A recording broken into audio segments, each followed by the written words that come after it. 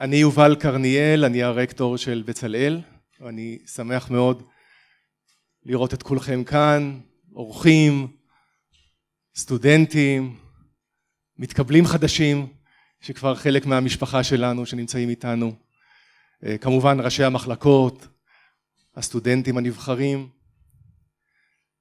שלום לכולם, ערב טוב.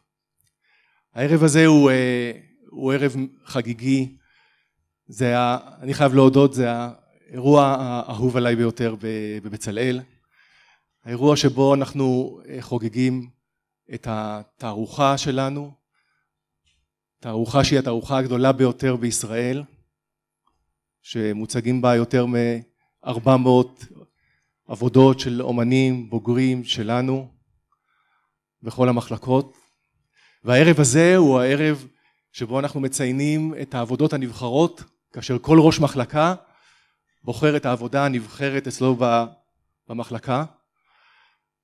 זו עבודה נבחרת, יש עוד עבודות מצוינות ונפלאות בבצלאל ואתם מוזמנים כמובן לראות אותם, חלק כבר סיירו וראו, אבל בכל זאת כל בחירה כזאת משקפת משהו והיא אומרת משהו גם על ראש המחלקה שבחר, גם על הסטודנט שנבחר והיא מציגה את הפסיפס שלנו פה בבצלאל, רב תרבותי, רב גוני, מרתק, שמנסה גם לומר משהו על המציאות כאן ועכשיו בחברה הישראלית וגם משהו על אומנות, על עיצוב, על ארכיטקטורה, אתם מיד תראו. אז באמת ברוכים הבאים לכולם, בעיקר למתקבלים. בסוף, ה... בסוף האירוע הזה אתם כולכם מוזמנים לחגוג איתנו ברחבה בחוץ, יש גם הופעה, אז תישארו ואני מאחל לכולכם הנאה רבה מהמפגש הזה, אז תודה לכולם. ראשון, ראשון המציגים שלנו.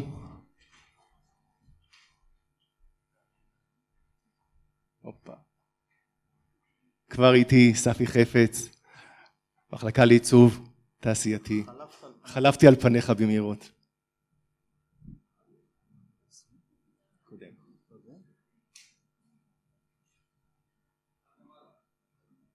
בבקשה. טוב, אחר הצהריים טובים לכולם. אז קודם כל אני שמח אולי כמו שיובל אמר אני גם חושב שזה אחד האירועים המקוננים בתערוכת סוף שנה אני רק אגיד שבחירת הפרויקט היא סוגיה קשה בפני עצמה אבל אבל באיזשהו שלב צריך לבחור ואני בחרתי פרויקט שנעשה על ידי מידן ואני אקריא כמה מילים שכתבתי על הפרויקט מה הוא עושה מה הוא נוגע. בעיניי הוא מתאר יפה את העולם הנוכחי ואולי גם קצת העתידי אז כך הפרויקט של מידן ניו פרוט אינו פרויקט ייחודי בשדה הפעולה המתרחב של העיצוב התעשייתי. הייחודיות בפרויקט מתבטאת באופן שבו מידן משלב חשיבה הוליסטית מתייחסת להווה עתידי. מידן מנסח הצעה מקורית ומפתה פותח צוהר לצפוי לנו בעתיד הקרוב שבו מקורות הגידול של המזון והמים מצטמצמים וכשבמקביל העולם נמצא בפיצוץ אוכלוסין. מידן כמעצב מוכשר מנסח תרחיש מנומק מקורי ואפשרי ומעצב בצורה וירטואוזית הצעה של נחשקות טעימה. אז מידן בבקשה.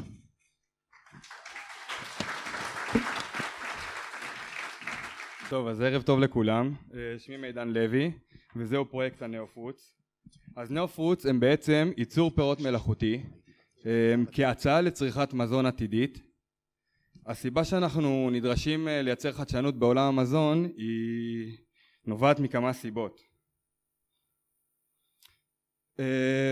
טוב קצב האוכלוסייה גדל ותוחלת החיים עולה משמעותית והתעשייה מתחייבת לייצר פתרון מהיר ותובעני היא פורסת עצמה על פני שטחים גדולים שבסופו של דבר מצמצמים את שטחי המחיה שלנו הם משתמשים בהמון עזרים המון דשנים וכל מיני דברים נוספים על מנת לספק קצב מהיר זה לגדל את אותו קצב זה בסופו של דבר אותם דשנים כמו שאתם רואים מחלחלים לקרקע למי התהום שלנו ועולים גם אל האוויר ובעצם אנחנו יוצרים איזשהו מצב שבעצם מרעיל אותנו ואת כדור הארץ בו אנחנו חיים.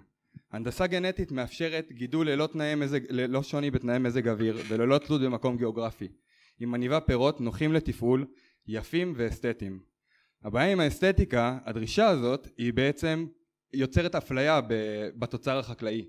ובעצם חצי מכמות הפירות והירקות נזרקים לפח. ואנחנו מבינים שאנחנו לא יכולים להמשיך בדרך זו. מכיוון והעולם צופה כרגע ל-2050 ודברים הולכים להשתנות ואנחנו נאלצים לייצר פתרונות חדשים שאת חלקם אתם כבר כנראה מכירים כמו תוספי תזונה שהאמת שהם חסרי כל גיוון הם, הם לא נספגים כהלכה בגוף ויוצרים מעמסה רצינית על, ה, על מערכת הכליות והכבד. גם בשר בגידול מעבדתי פתרון מעולה. אבל קצת חסר חיים, חסר אופי ולא כל כך מזמין למען האמת. ואם אנחנו חושבים על חלבון אה, חרקים שזה גם אחלה של פתרון ואחלה של מחשבה אבל מרגיש קצת כמו התאפלות לעוד בעל חיים מסכן שבסוף כנראה ייתכן ואנחנו לא נדע בכלל על קיומו במזון ולכן נולד פרויקט נאופו בשביל להציע את החוויה השלמה הזאת הוא בא לטפל גם בעניין האסתטי וגם בערך התזונתי אז למה בכלל פירות? פירות מאפשרים לנו גיוון אנחנו פתוחים לקבל רעיונות ודברים חדשים תראו איזה דבר יפה זה. מי מוכן לוותר על זה לעומת קפסולה? הצבע, הצבע המדהים הוא לא סתם. תבינו שפירות הצבע יש לו ערך מאוד רציני, הוא ויטמין בפני עצמו ואנחנו זקוקים לו. הטעם שלעצמו גם מגן עלינו. תבינו עד לאיזו רמה זה יורד. טריפונול זה החומר שנותן לגזר את הטעם. ברג... הוא מגן עליו מפני כל מיני בקטריות. ברגע שאנחנו צורכים אותו, הוא מגן עלינו מפני אותן גרורות סרטניות. ואם אנחנו מסתכלים על פרי כאריזה הוא דבר מושלם בהתאמה מושלמת לתוכן שלו אפשר ללמוד ממנו כל כך הרבה ובכלל מעולם הפירות הפרי לא צריך גרפיקה תראו איך הוא מראה לנו בדיוק איך להשתמש בו אם הוא מקולקל אז הוא מראה לנו איפה ולמה הוא רוצה לייצר אינטראקציה איתנו והוא מאפשר לנו לצרוך אותו במינונים קטנים ללא התחייבות למוצר השלם הוא משמש ככלי אחיזה ועוד דברים רבים אחרים אז איך באמת אני יכול לקיים את כל אותם ערכים מדהימים אלו בדבר מלאכותי. הדפסות ארבע מימד עולם הדפסות המזון התפתח פלאים בשנים האחרונות. היום אנחנו יכולים להדפיס בחומר אורגני, מחומר שנקרא תאית. זה בעצם מרכיב 90% מכלל הצומח, מרכיב עיקרי בצמח, ובתוספת פיתוכימיקלים בהדפסה אנחנו יכולים לייצר גוף מורכב שמגיע מהקליפה החיצונית עד לתוכן שמעניק את מרקם הפרי. ורק לאחר מכן אנחנו מכניסים מים, שמים כמו שאתם יודעים נותנים לנו חיים. למים יש עוד תפקיד. דיברנו על הדפסת ארבע מימד, מה זה בכלל? הדפסת ארבע מימד מאפשרת להדפסה להשתנות לאחר שהדפסנו את הדבר הזה ואתם בטח שואלים למה אנחנו צריכים את זה ולמה זה טוב אז זה טוב מכמה סיבות כי אם אנחנו מדפיסים את אותה תבנית כדמות פרי מלאכותי אז אנחנו רוצים לנצל כמה שיותר מקום. זה מאפשר לי להדפיס הדפסה שטוחה ש... לנצל את כל מגש ההדפסה בעצם זה מאפשר לי להראות את תוך אה, חיווי מגניב שהפרי בעצם מראה לנו ואנחנו יכולים גם להחליט מתי אנחנו רוצים להפיח את החיים באותו פרי. ובסוף מתקבלת הצורה השלמה רק לאחר החדרת הנוזל. ולאחר כל זה אנחנו מגיעים וזה בא לידי ביטוי בדבר כזה. חוויה שלמה. מהקליפה לפנימיות. אנחנו יכולים להעניק לו איזה תוכן שאנחנו רוצים ולאפשר גם כלי אכילה שיעזור לנו כי אנחנו מדפיסים וזה אפשרי. אנחנו לא מחויבים יותר לפרי אחד. אנחנו יכולים לקחת חלק ממנו ולשמור את השאר. וזה בעצם נותן לנו את, ה, את היכולת לגוון את המזון שלנו. זה מעודד אותנו. הפרי נותן לנו על פי הצבע אנחנו יכולים לראות את תכולת הפרי. אנחנו יכולים לדעת במה הוא יעזור לנו ובמה הוא יתרום לנו גורם ההפתעה ועוד דברים שונים כמו הדפסה מרחבית או בכלל איך הפרי מסמן לנו שהוא טוב ומאיפה אנחנו קוטפים אותו. יש מרכז ואותו אנחנו תופסים ויש פינה ואותה אנחנו מושכים וזה מאוד ברור בלי שום צורך נוסף. ואחרי שיצרנו את אותו עולם אותו מזון עתידי זה הלוואי ועולם המחר ייראה כך. Wait! Okay now, from the beginning. Hit it boys.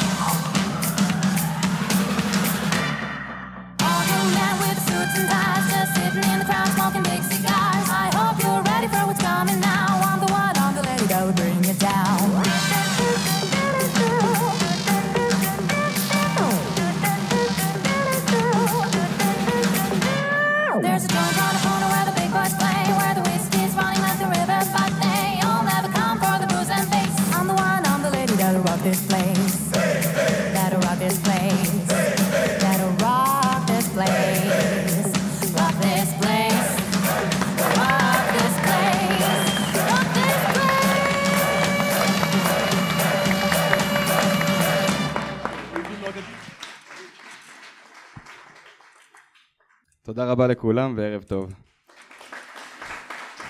טוב, אז אה, אחר הצהריים טובים לכם. אה, אני דוד אדיקה ואני ראש המחלקה לצילום. אה, מהעתיד אני מחזיר אתכם אל העבר. אני מבקש, קודם כל הפרויקט שאני מציג זה הפרויקט של שי דרור, זה סרט קצר בן 17 דקות. אני מבקש לקחת אתכם מאה שנים אחורה ולהקריא לכם ציטוט קצר מתוך ירושלים הבנויה, חלום בהקיץ ספרו של בוריס שץ, מי שייסד בעצם את בצלאל, מ-1918. בגן נאה על יד תחנת תעופה ניצבתי עם מורי, ונעל באווירון ונשב בו שנינו. כמעט רגע ואנחנו הגבנו עוף, ונדע באוויר צח וזך תחת רקיע תכלת.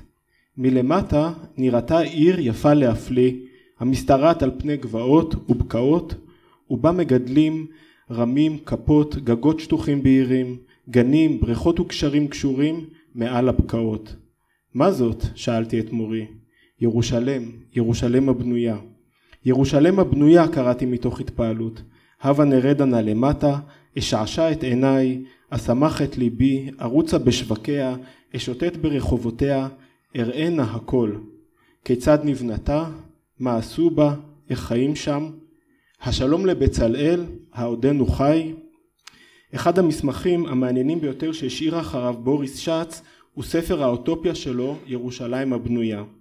ספר זה נכתב על ידו במהלך מלחמת העולם הראשונה, לאחר שגורש על ידי הטורקים מירושלים לגליל. שץ סיים את כתיבת החיבור בעת ששהה בצפת בחודש אוגוסט 1918. החיבור יצא לאור ב-1924 בעיצומה של אחת התקופות הקשות בחייו, עת היה נתון בלחצים חומריים כבדים ועשה מאמצים נואשים להגשים את חזונו ולקיים את המרכז האומנותי שהקים בירושלים.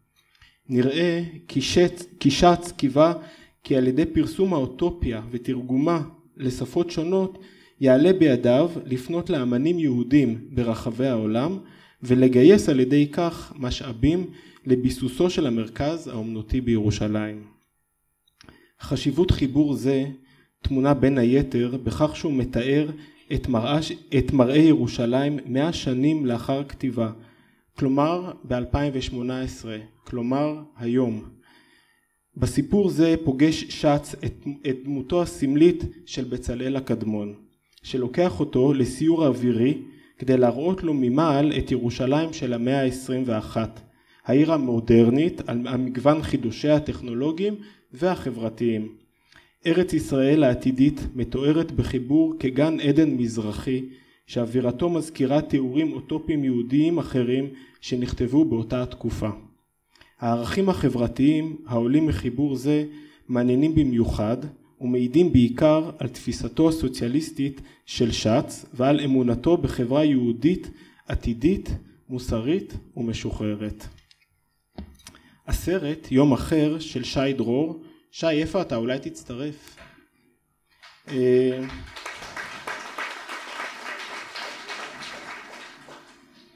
הסרט יום אחר של שי דרור ממנו נראה רק אה, טריילר קצר בין דקה וחצי לוקח השראה מחזונותיו של שץ ומעניק להם מאפיינים חזותיים המצטטים את הקולנוע וסדרות טלוויזיה. יום אחר בוחן את הדרך בה הנרטיב הקולנועי נבנה, נבנה לאורך השנים ומנסה לשחק בו, אולי אפילו להתל בו, אם ביצירת מתח מיותר ואם בהימנעות מרגעי משבר. הסיפור לעיתים לא ברור ולעיתים אפילו לא הכרחי להבנת העולם המוצג בסרט. יום אחר מבקש לתת אופציה חדשה, אוטופית ולעיתים דיסטופית לחיים בירושלים. דרכו נוצרת מציאות מקבילה ומוזרה, עשירה בסמלים שחלקם מפוענחים וחלקם פחות, היוצרים עולם בו אולי יכולנו לחיות. שי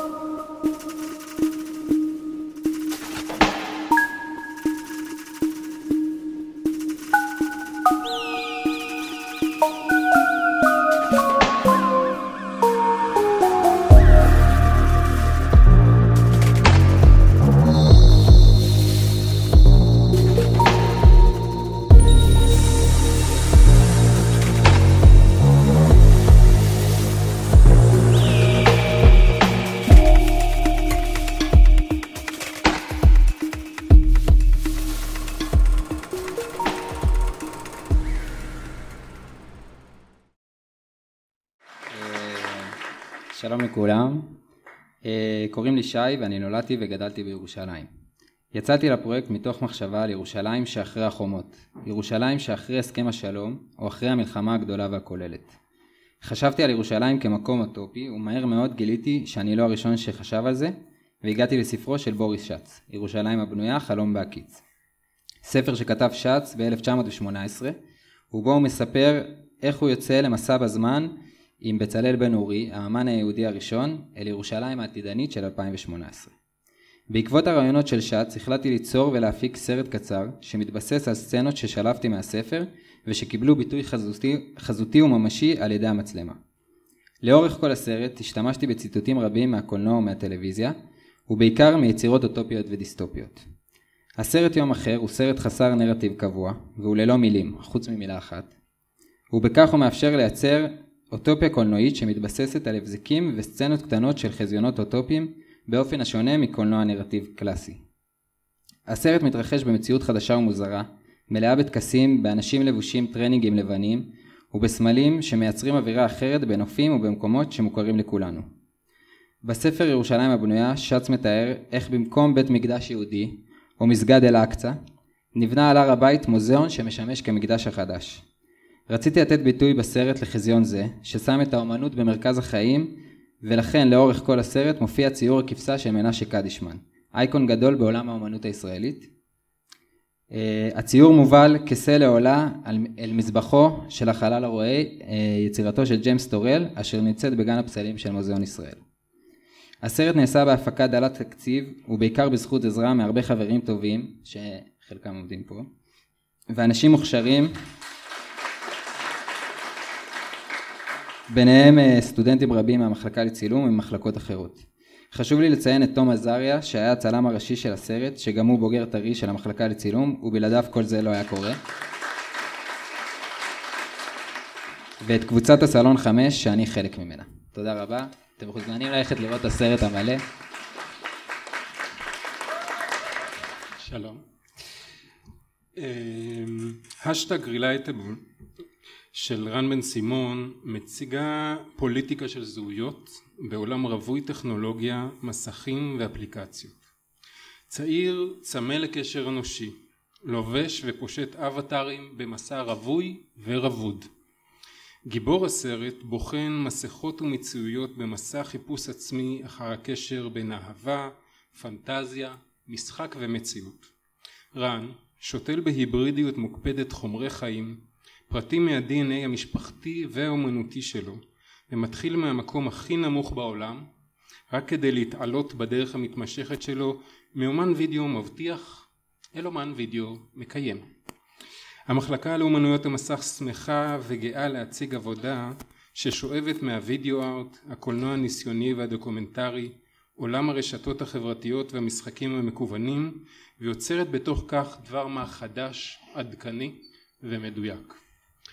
אה, רן במסגרת העשייה החברתית הרבה שלו נמצא לצערנו בחו"ל אבל אה, כפי שהבטחתי למתקבלים אנחנו ניתן לעבודה לדבר אה, בזכות עצמה. אז שיהיה לכם צפייה מעניינת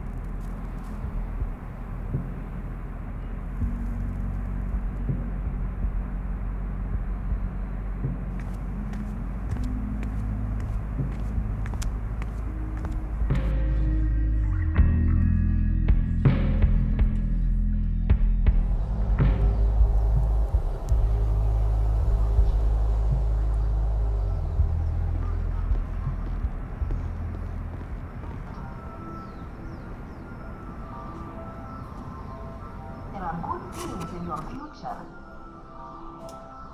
Take today's prediction with you. Good luck.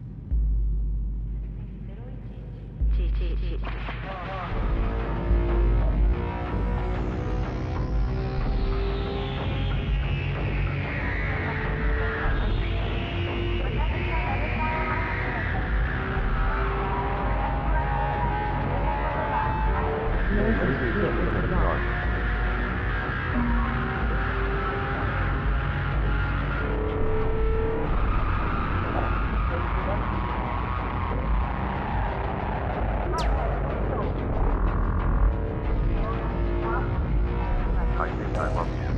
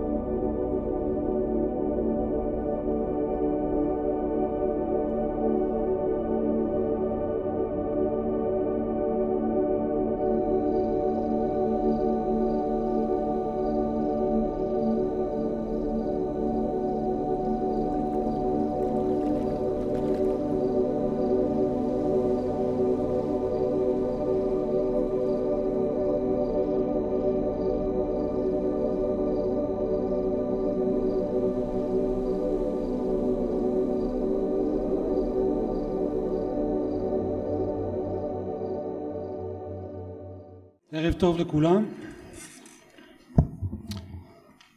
דרור כהן, דרור כהן יצא ספר שלא יכול לצאת בשום הוצאה מסחרית.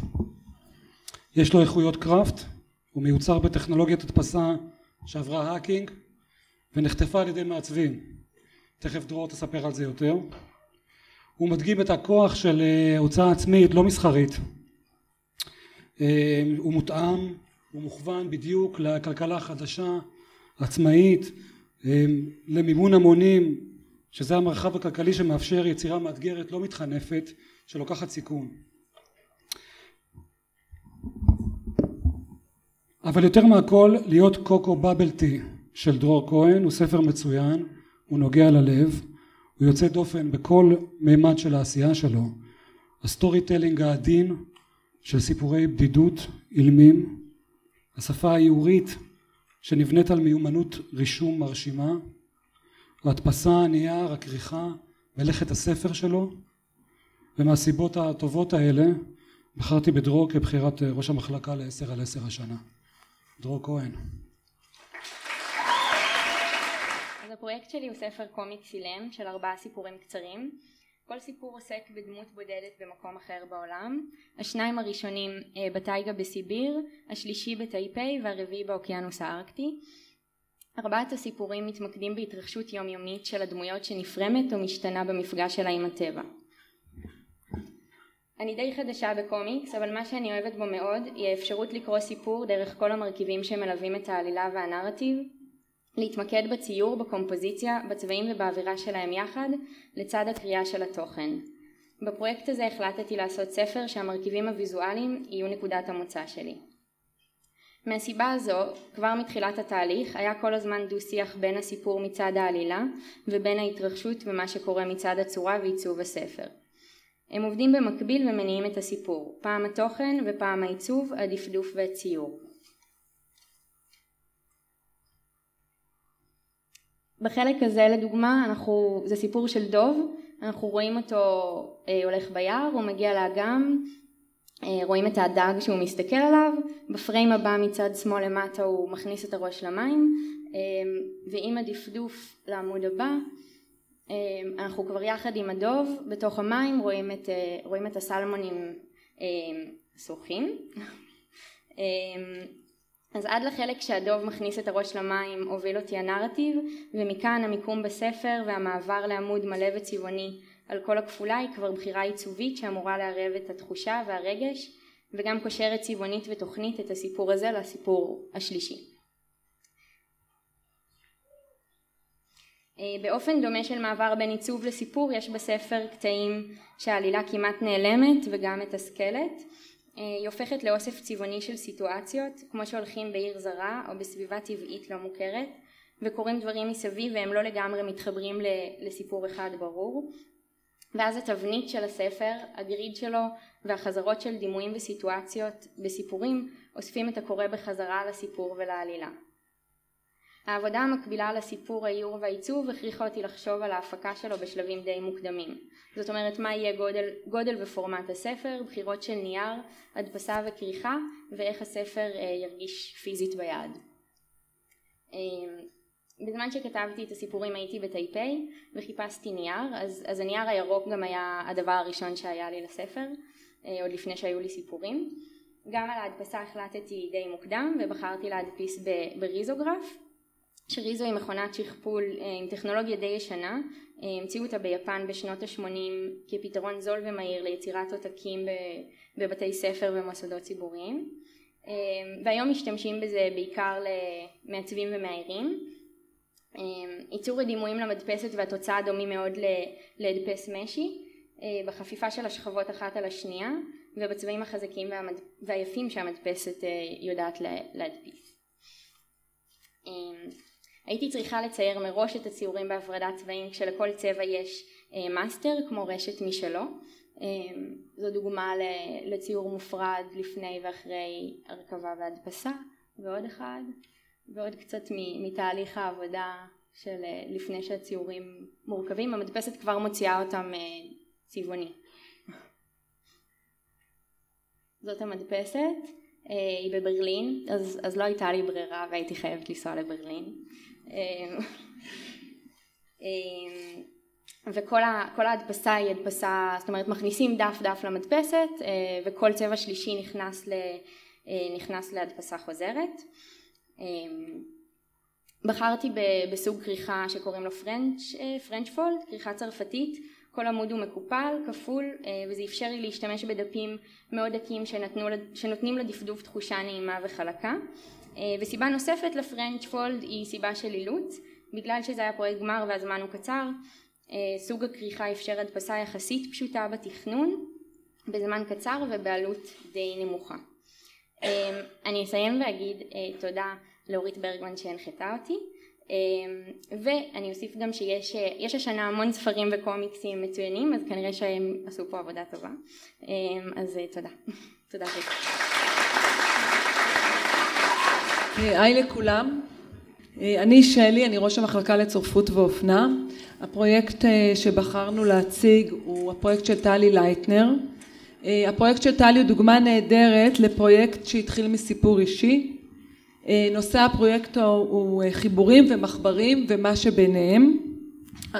האזיקון שלקוח מהעולם התעשייתי, ועוד רגע תראו אותו מככב בפרויקט, הפך להיות מחבר בין טקסטילים שונים ובא לקרוא תיגר על התפר ואף להחליף אותו. לפרויקט הזה יש התחלה אבל אין לו סוף וזה מה שמאוד מיוחד בו. ברגישות ובכישרון רב יצרה טלי טקסטילים מחדשים ויוצאי דופן. הפרויקט נבחר משום שמביא לידי ביטוי את התמה של המחלקה שדואגת לטפח את השפה האינדיבידואלית של הסטודנטים כיוצרים מקוריים ומבשרים. אז אני מזמינה את טלי.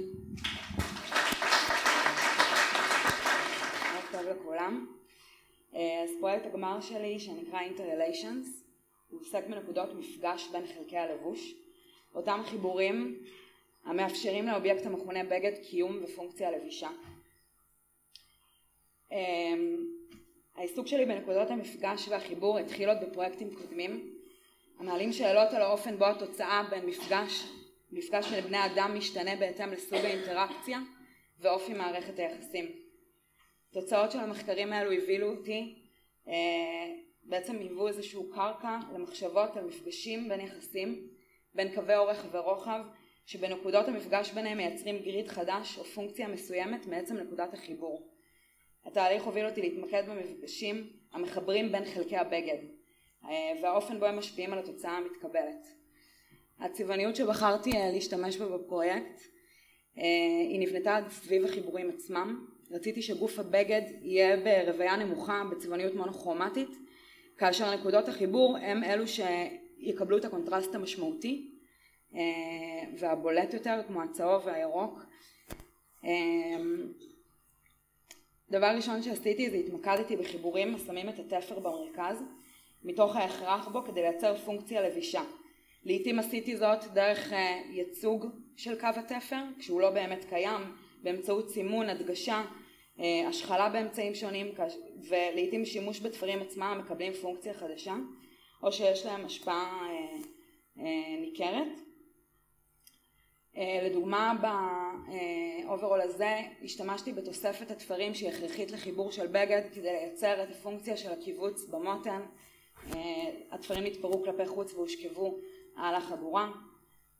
אה, בחולצה הזו יצרתי באמצעות תוספות התפרים שכבה נוספת של בד שנתנה לי הגדרה חדשה לצללית של הכתפיים וכמובן כל הקווים הם מדגישים את, ה, את החיבורים.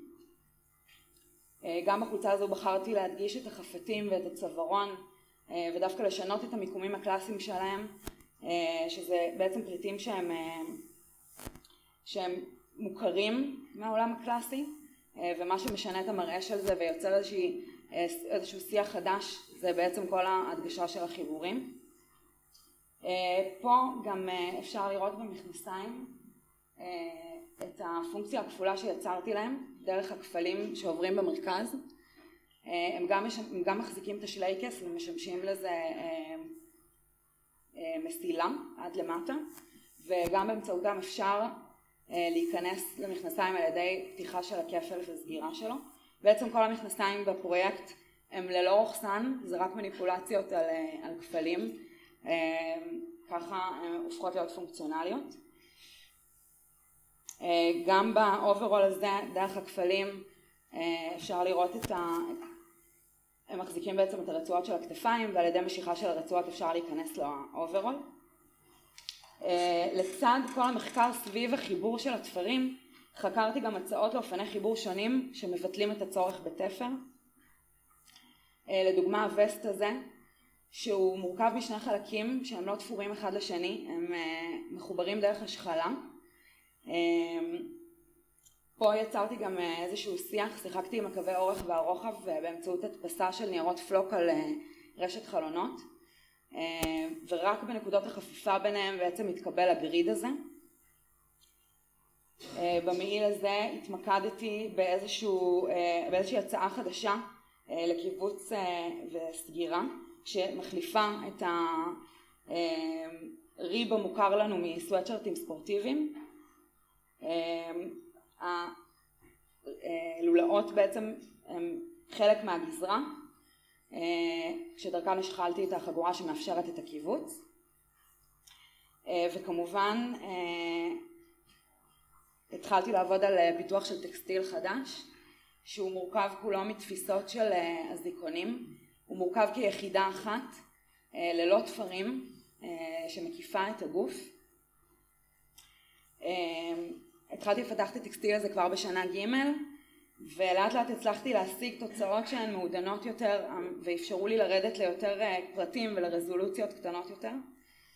אה, אפשר פה לראות את זה אולי קצת יותר מקרוב. אה, בנוסף להצעות נוספות גם למכנסיים, למניפולציות על הכפל וגם לתוספת התפרים שהפעם בתמונה הימנית נותנת הצעה של כיסים. זה הצעות נוספות שהשתמשתי בתוך הקולקציה, בתוך הטקסטיל הזה, גם על נעליים. אני רוצה להמשיך ולפתח אותו גם לתיקים, לתיקים למשל, לאביזרים נוספים וגם להביא אותו למצב שהוא באמת הרבה יותר נגיש בלבוש. יש פה סרטון קצר מנקודת מבט קצת אחרת מתוך התהליך עבודה שלי.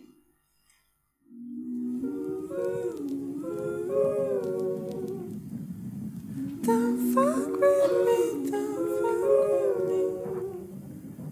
Since you listen to I never knew where I was going I went what I was flowing. I know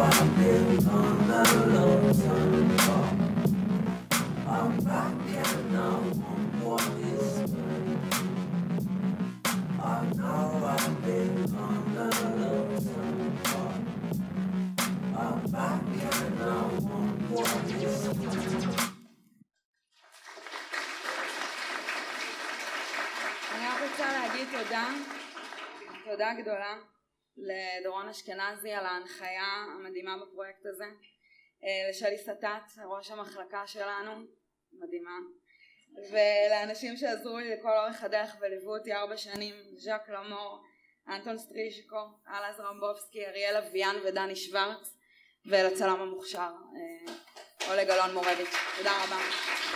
אני שמח להציג את סשה קוטלר. סשה והמחלקה הם בעצם, אני אומר את זה אחרת, סשה מתעסקת בפרויקט שלה בנושא של קרוסלות.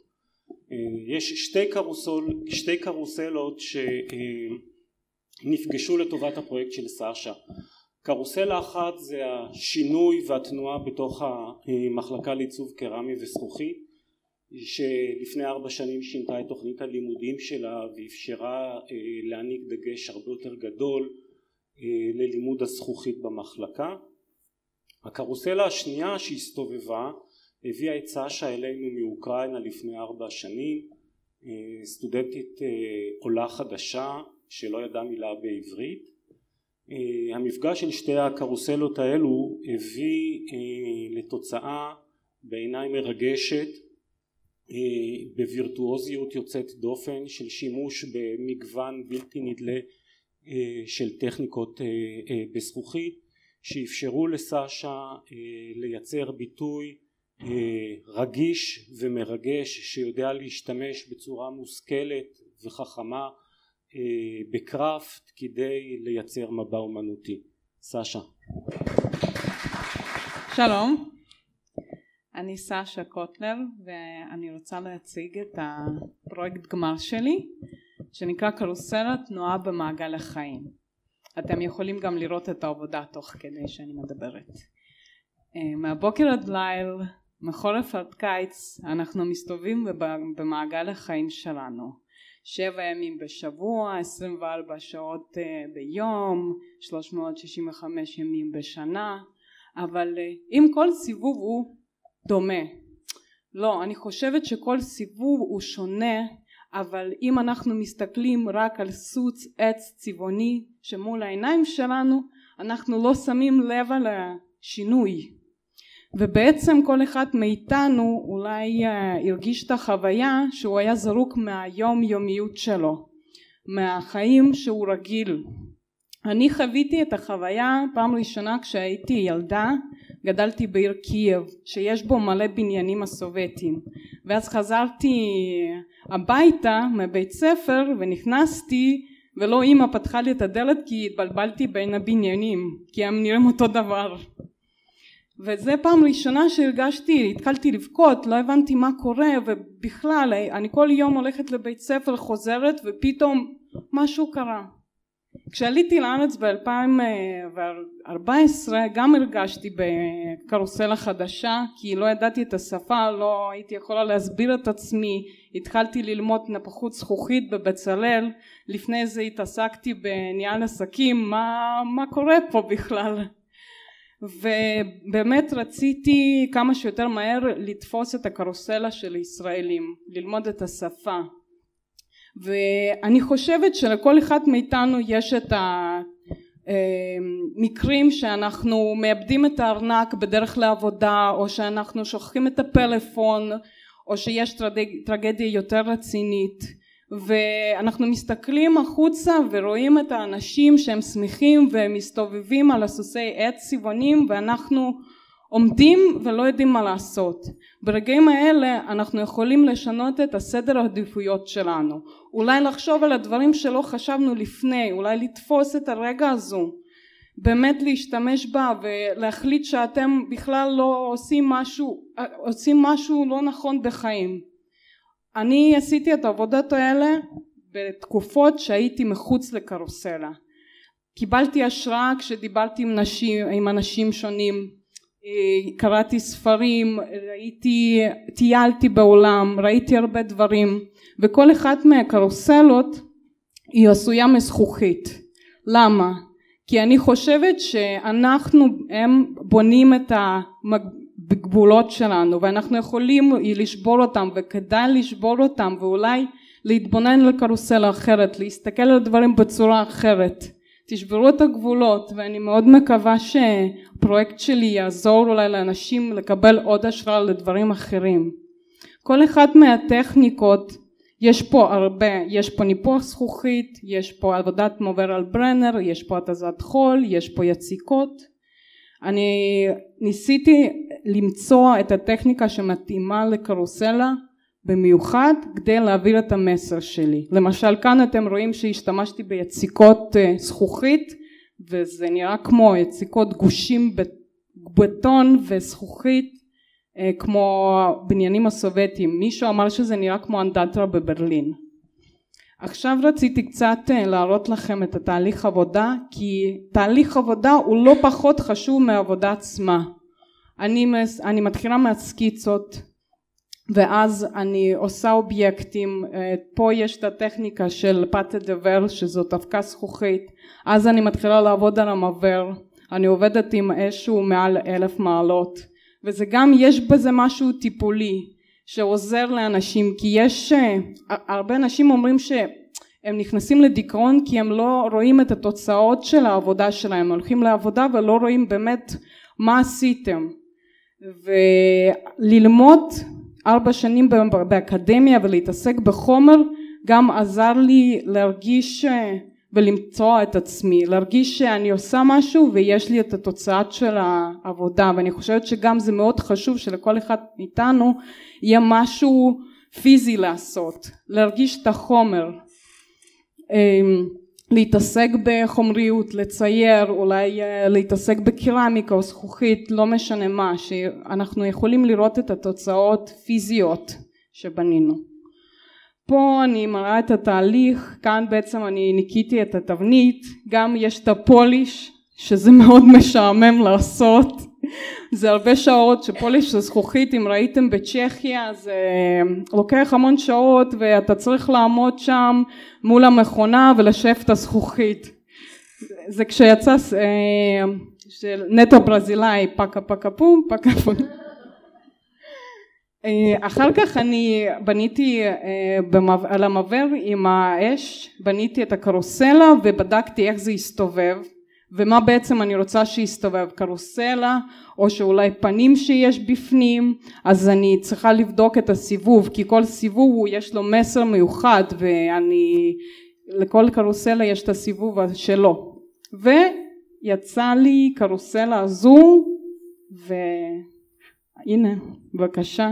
ואני מאוד אה, רוצה להגיד תודה גם לעיצוב קרמיקה וזכוכית למחלקה הזאתי כי באמת זה חשוב והיא נתנה לי את החיים החדשים בארץ. תודה רבה. שלום. Uh, הבחירה של המחלקה לאומנות לכנס עשר על עשר היא העבודה של רונה סולין קושמנטוש. Uh, אני אספר למה בחרתי אחר כך, אני רוצה לספר את סיפור הרקע לעבודה הזו.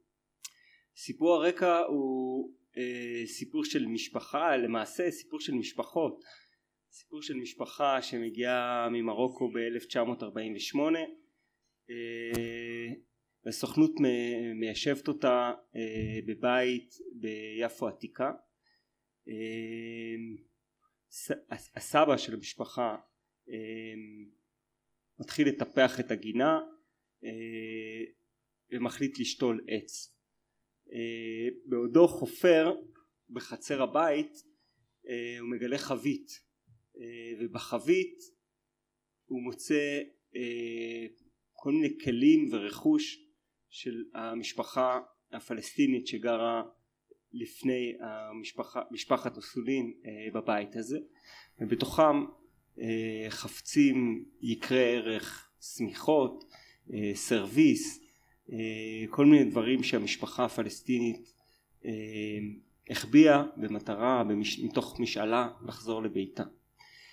הסיבה שבחרתי בפרויקט הזה נובעת בעיקר מהקושי עם כל הערכה שלי כמובן לעבודה הזאת מקושי ומאתגר שיש מול סיפור חזק כל כך ושלם כל כך שמספר את הסיפור של המקום הזה בצורה מאוד מאוד חזקה. וגם בגלל רון שלקח את הדבר הזה את הסיפור הזה את האירוע הזה ובחן אותו בכלים של אומנות. אני חושב שזה סיפור שניתן לפתוח אותו בהמון בהמון דרכים אם זה אקדמי ואם זה היסטורי ואם זה ארכיבאי ואם זה צילומי וכולי וההתעקשות של רון לעסוק בסיפור הזה שכאמור שלם בעיניי היא הייתה מרשימה, היא הייתה מאתגרת והיא ארכה שנה שלמה. אני מזמין את רון להציג את הסיפור.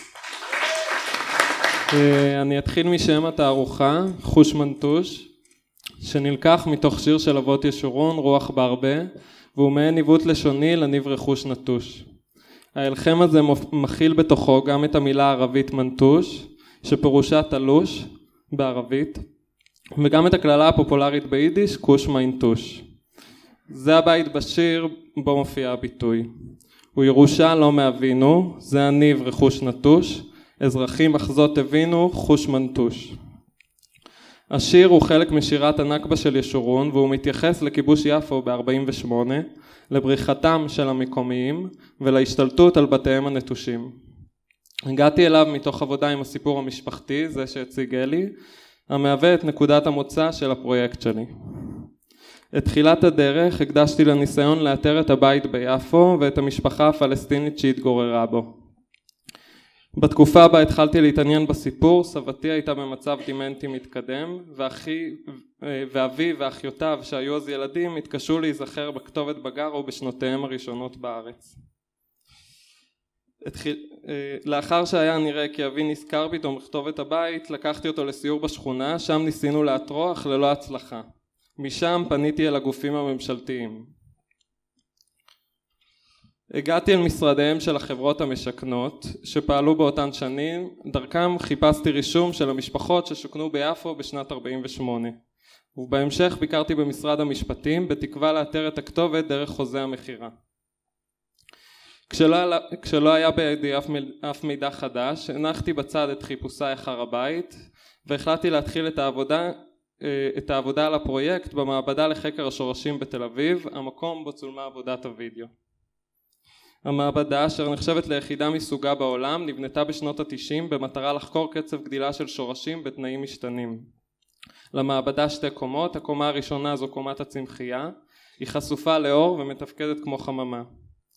הקומה שמתחת זו קומת השורשים, תא חשוך בו הם מקבלים השקיה קצובה וניזונים באמצעות תמיסה המדמה את תנאי הקרקע. המעבדה ממוקמת בסמוך לאוניברסיטת תל אביב ומהחלון שלה נשקף הנוף של העיר ובמרכזו אלונה פארק. מתוקו, הדמות שמופיעה בווידאו ומנגנת בכלי המתכתי, הוא הגנן של החממה, זה שאחראי לטיפול השוטף בצמחים, והכלי המתכתי שהוא מנגן בו ושגם הופך לסאונד של התערוכה נקרא וואטרפון. כלי נגינה שהומצא בשנות ה-60 והשימוש העיקרי שלו היה להפקת צלילים לפסקולים של סרטי אימה ומתח.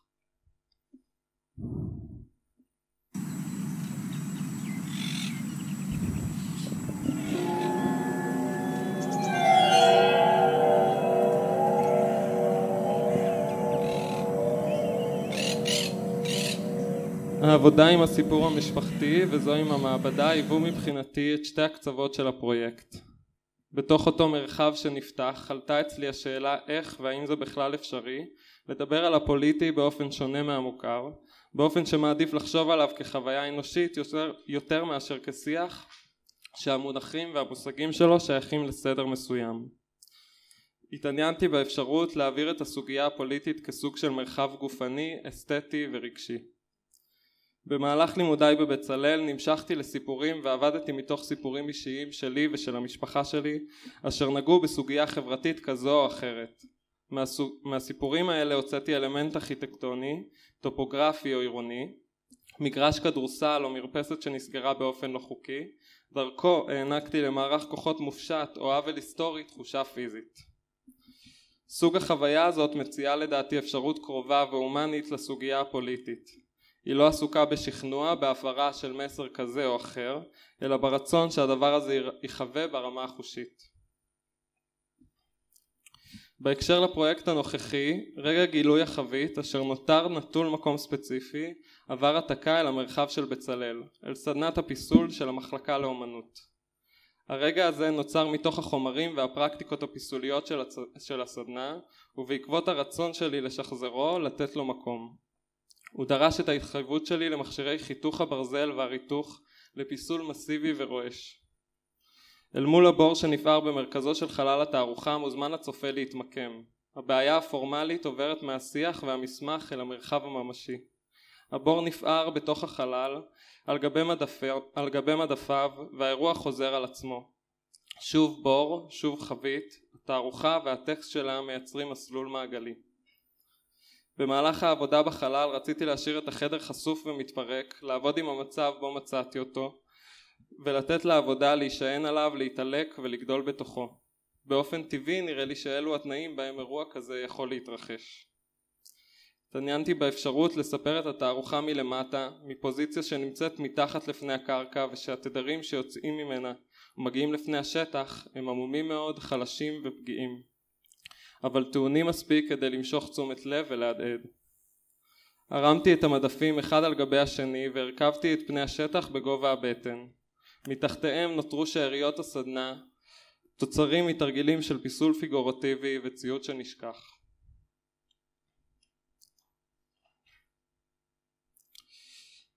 במקביל לאותו אירוע שהוא אירוע של קריסה, של גרביטציה וכובד, ייצרתי אירוע נוסף של ריחוף ותלייה.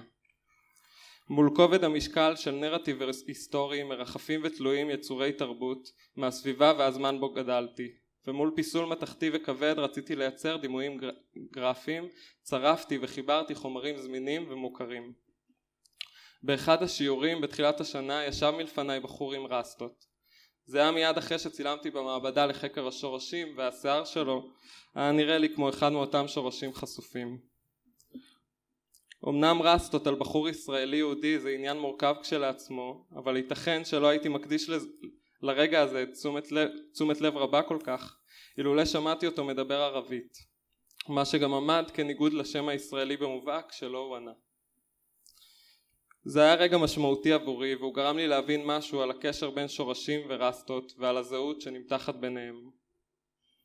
הרסטה היא ביטוי של תרבות ובעוד היותה סמל לתרבות ג'מייקנית, לרסטפארי, בייצוגי העכשוויים היא בחירה אופנתית ומוזיקלית, היא בוב מרלי והיא בעיקר בעיניי כמו עוד הרבה בחירות אופנתיות אחרות אמצעי שייכות. בעזרת סיבוך מתוכנן וידוע מראש השיער הופך לשורש, לסמל של דת ומסורת ומשמש כאופציה טובה להסבעה של סיבוך אחר, של מורכבות שהסביבה מתקשה לקבל.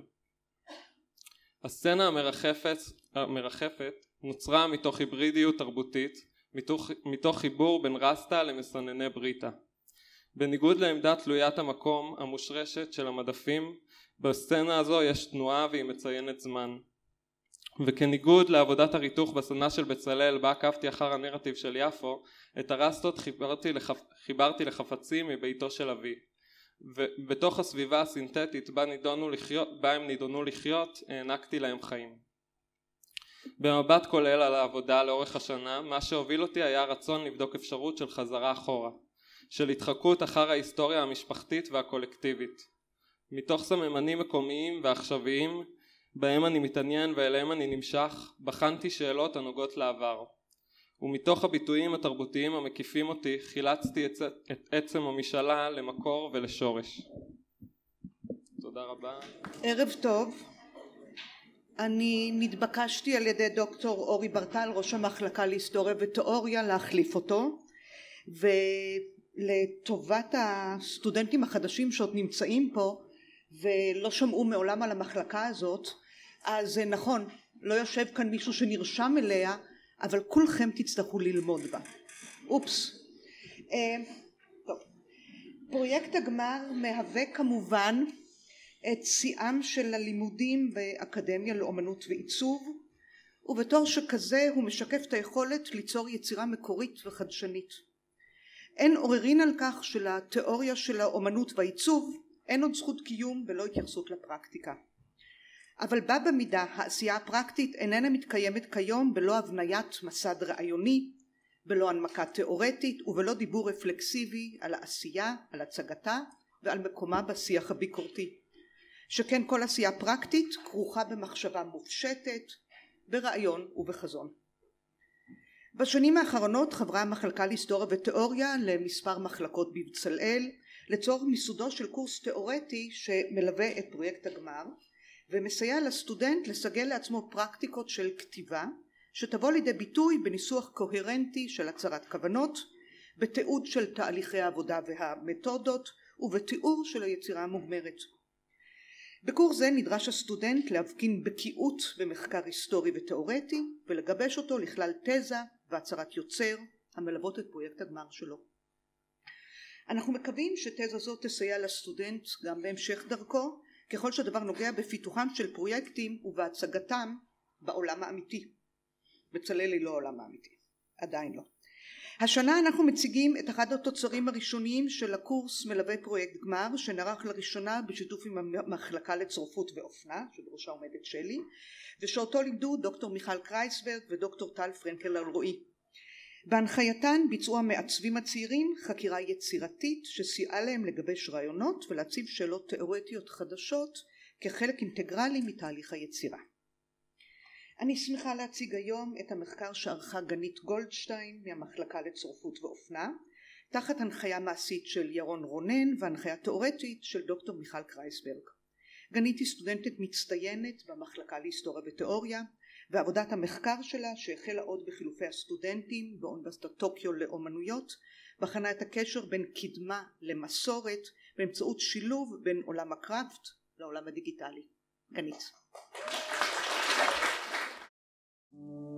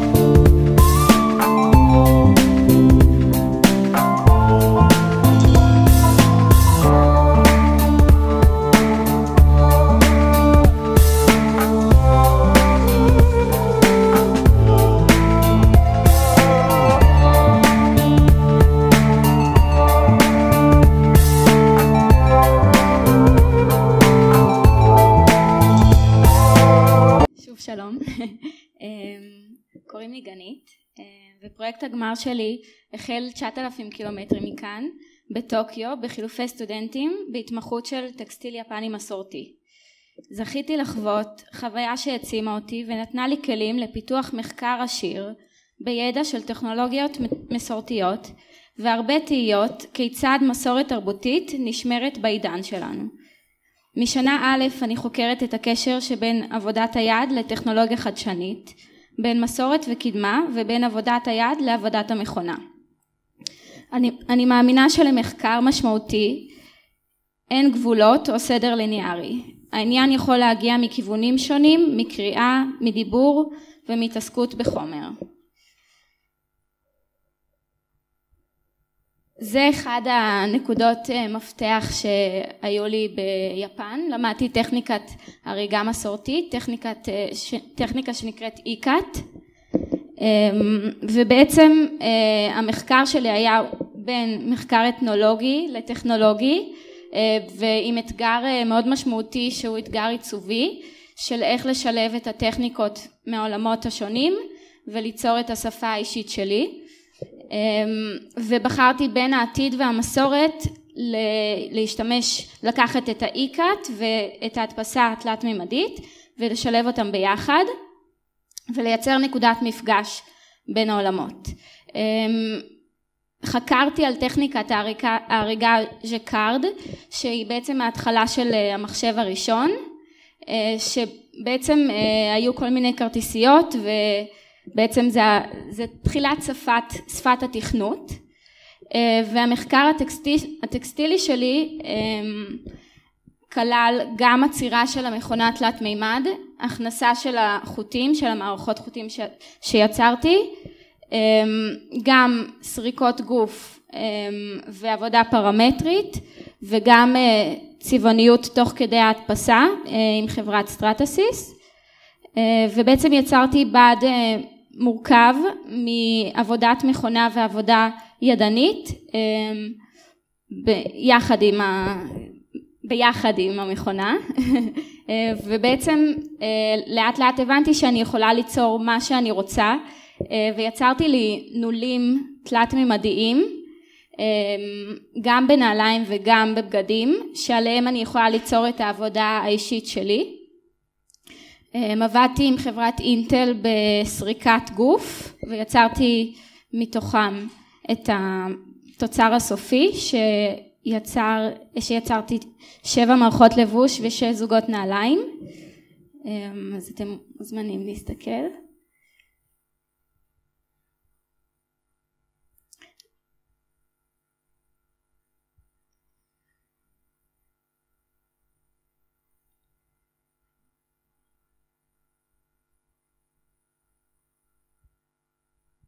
כל החיבורים בז'קט הם אה, על ידי החום של המדפסת תלת מימד, היא בעצם חיברה לי את החוטים ביחד.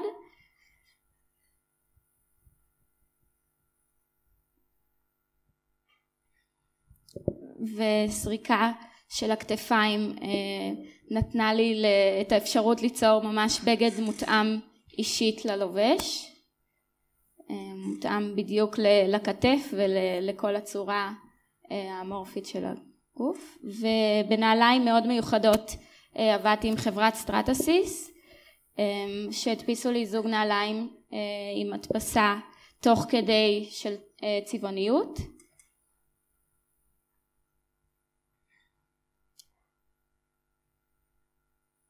ועוד חמש זוגות שהדפסתי במדפסת ביתית בבית שלי. הכל שבועות של הדפסות, אה, כל נעל כזאת לקחה 130 אה, שעות, הדפסה רצוף, רצופה, לא כולל עבודת יד.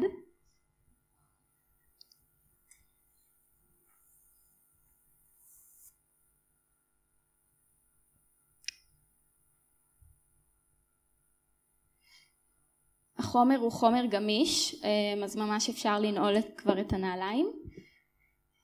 זהו, תודה רבה. קצת יותר מעשר שנים בצלאל הכריזו על תחרות אדריכלים לתכנון קמפוס חדש לאקדמיה במגרש הרוסים.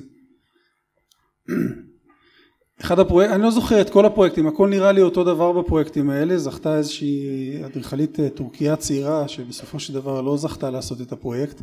פרויקט אחד שאני כן זוכר הוא פרויקט של אדריכל איטלקי שזכה בציון לשבח, הוא עשה פרויקט, כל הפרויקט מי שזוכר אותו היה פרויקט חפור, כל הפרויקט היה מתחת לקרקע.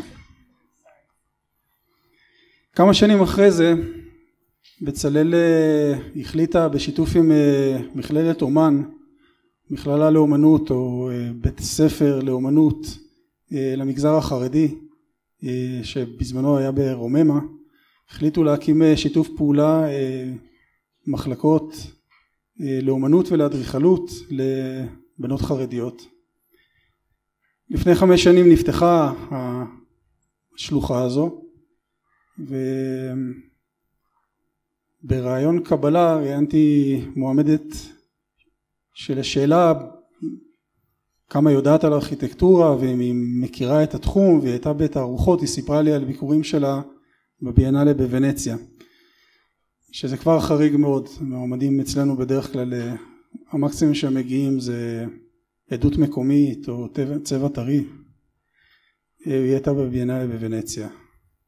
חמש שנים אחרי זה היא התחילה פרויקט גמר ומה שמייחד את הפרויקטי גמר של המחזור הראשון של הבנות החרדיות בשלוחת בצלאל אומן זה העובדה שכל הפרויקטים הם מאוד מאוד קרובים לעולם שלהם הם פרויקטים מאוד מאוד אה, אישיים מצד אחד מאוד אה, קרובים לתרבות ולהוויה ולמציאות אה, הירושלמית. מציאות שאנחנו אנשי בצלאל כן השלוחה החילונית פחות מכירים. הפרויקט ירושלים של מטה הוא לא פרויקט רטורי, הוא לא פרויקט פרובוקטיבי, הוא פרויקט שעוסק בחיים, במציאות, הוא פרויקט שאני בחרתי של מלכי קסלר, בוגרת המחזור הראשון של השלוחה החרדית, פרויקט נפלא.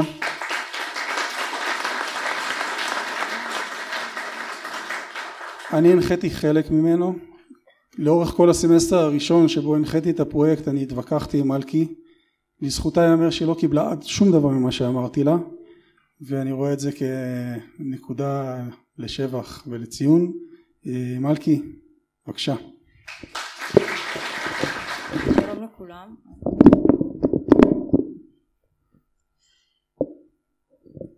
אמ, אני אחלק את ההצגה אה, לשלושה חלקים, תוצר, סיבה ושיטה בשביל שיהיה יותר קל לעקוב. אז נתחיל בתוצר. אם אספר לכם עכשיו שבשכונות מסוימות בירושלים מתנהל עולם שלם מתחת לאדמה, אולי יהיה לכם קשה להאמין, אבל זו המציאות בשכונת רוממה בירושלים, וזה הביא אותי אה, לתכנן עיר מתחת לאדמה, חלק מעיר, שיודע להתמודד עם הקשיים ומאפשר אה, איכות חיים לצד אה, החדרת אור ואוורור. אז אה, בואו באמת נראה מה קורה ברוממה היום.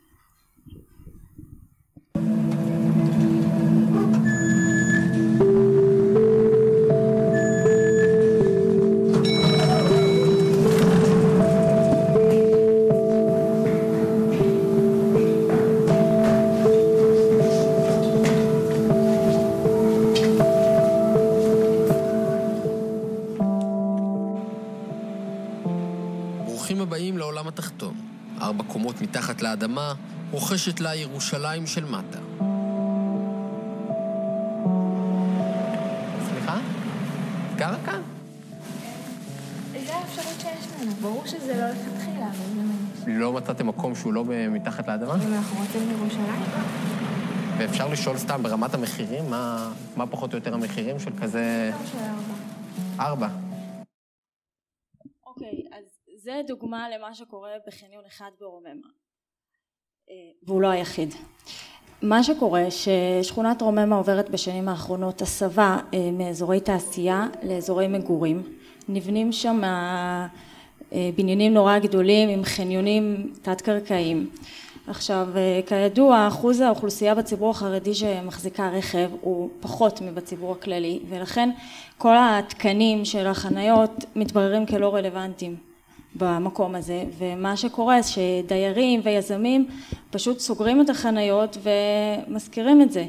וכך קומות שלמות של חניה הופכות למגורים.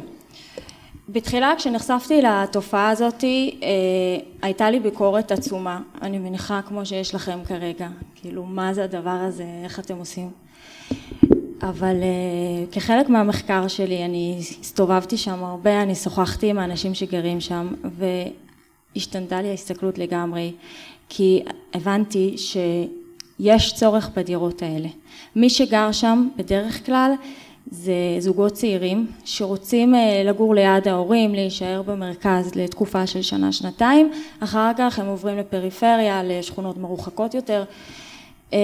הדיירים האלה יחסית מרוצים מהמצב, אפילו שיש להם חלון אחד במקרה הטוב בדירה, כי זו דירה זמנית וגם זה מאחד איזושהי קהילה משותפת של זוגות.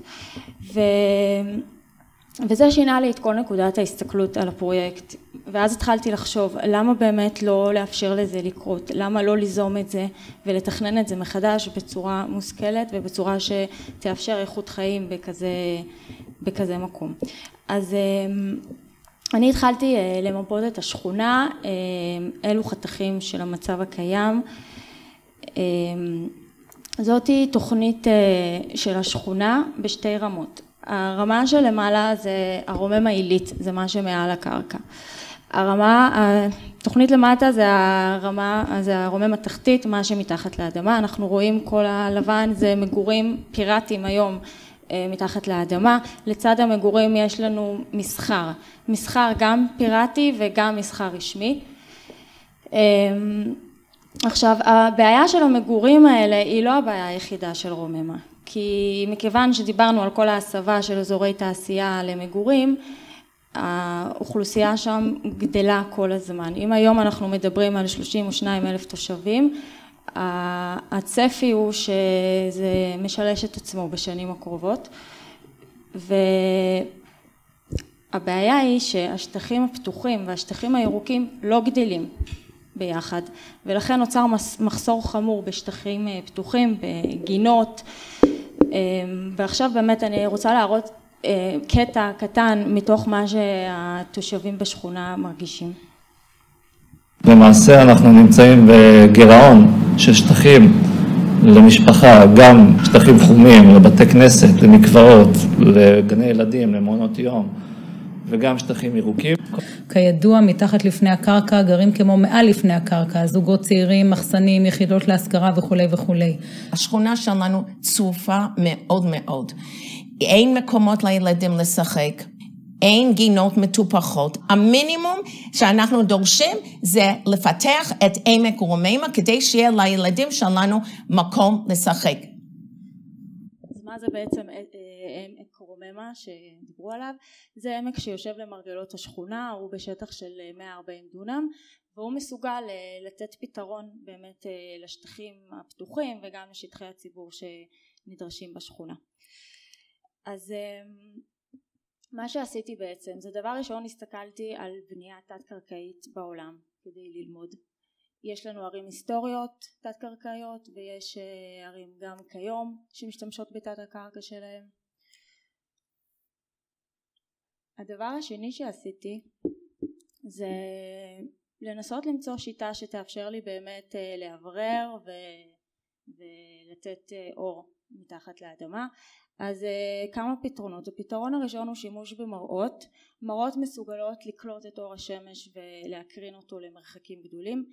הכפר הזה זה כפר באיטליה שסובל כל חורף מחשיכה. השמש לא מגיעה אליו. ומה שהם עשו הם הציבו מראות על הערים מסביב מראה במרחק של קילומטר מהכפר שקולטת את השמש ושולחת את זה ישר לכיכר המרכזית. והפתרון השני הוא פתרון עכשווי של שימוש בסיבים אופטיים בעצם זו מערכת שקולטת את השמש ובעזרת הסיבים מחדירה את זה מטה לתוך התת קרקע כך שגוף תאורה בתקרה במשך היום מקרין לי אור שמש טבעי ובלילה מקרין לי אור מלאכותי. אז בעצם אה, אחרי שהחלטתי לא לנסות לתקן את המצב הקיים אלא להציע חזון עתידי שלוקח את ירושלים ומשתמש בתת הקרקע שלה. אני מציעה שתי צירים מרכזיים שיוצאים מהשכונה ומגיעים לעמק רוממה. אה, הציר הזה זה מבלבל. יש לנו את ציר A וציר B.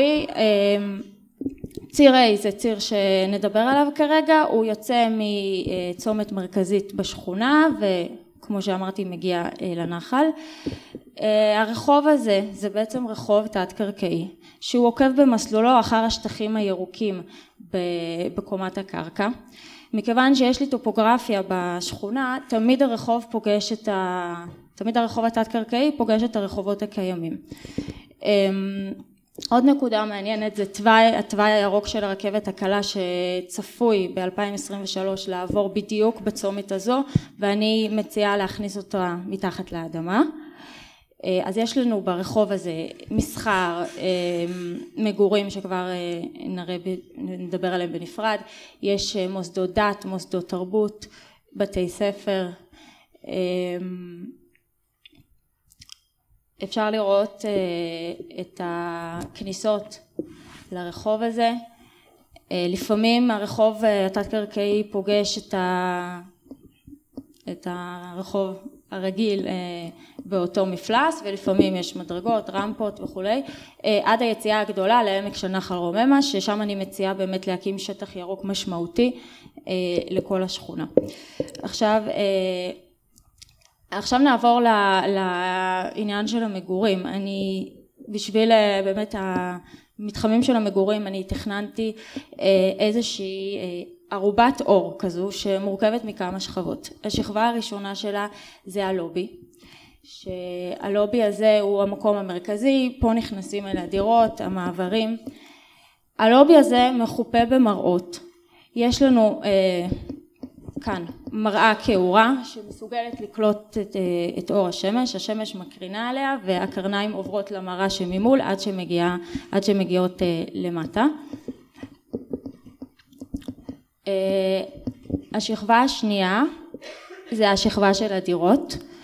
המערכת האור והאוורור בדירות עובדת בתקרות, יש לי תקרות כפולות ששם יש רשת של סיבים אופטיים שמאירה לי לתוך הדירות וגם מערכת של הזרמת אוויר צח.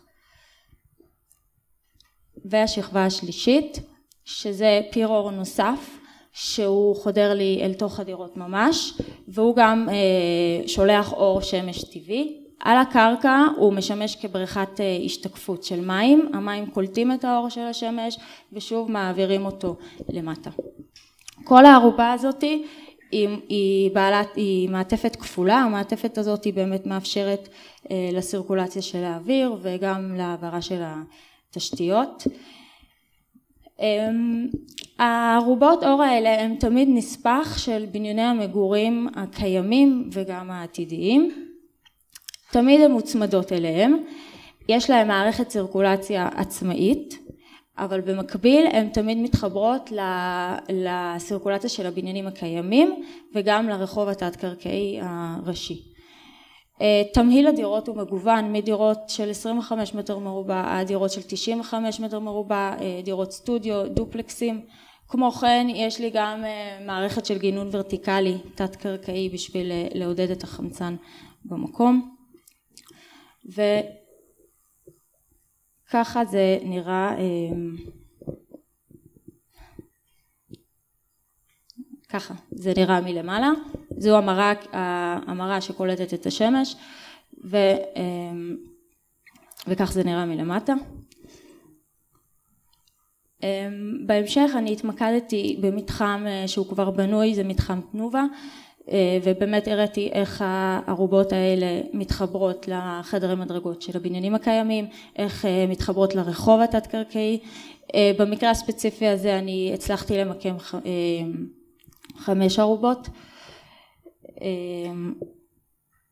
וכאן בחתך של זה אפשר לראות איך שזה עובד ביחד, כאן יש לי את הרחוב הראשי עם הרכבת הקלה שעוברת לי ואיך האזורים של המגורים מהצד הזה ומהצד הזה מתחברים לי אה, לרחוב הראשי.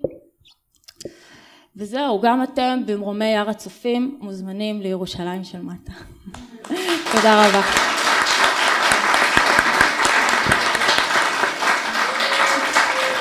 האמת, האמת שזו הזדמנות בשבילי, כי יובל ככה הציג באמת אה, את השלוחה החרדית, להודות לכם, לכל מי ששותף בהקמה, כי באמת זה לא מובן מאליו, וזה נתן לי את האפשרות אה, ללמוד ולהתפתח.